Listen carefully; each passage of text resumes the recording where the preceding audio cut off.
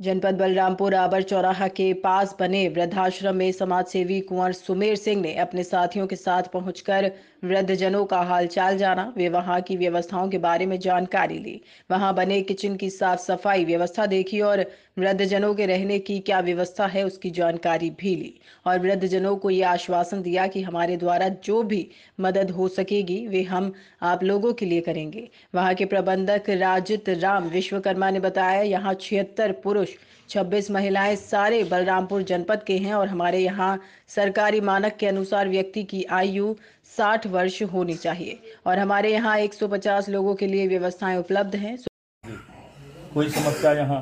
नहीं है। सब ठीक है? समय से भोजन पानी हाँ हाँ। आवास आपको? सारी सुविधाएँ उपलब्ध हैं।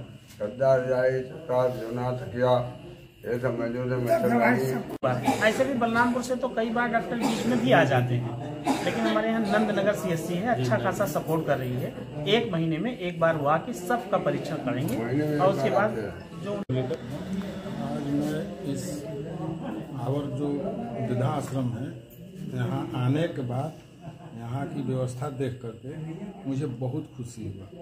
और जितने यहाँ लोग इस आश्रम की सराहना किए मैंने उस समय आया जिस समय यहाँ पर भोजन चल रहा था। मैंने भोजन देखकर मैं खुद संतुष्ट हुआ और कुछ इसमें से वृद्धा लोग में जो भी माता हैं, पिता के तुल्य हैं, इन लोगों से मैंने पूछा कि किस तरीके के भोजन की व्यवस्था है। तो सारे लोग कहे कि बहुत बढ़िया व्यवस्था है।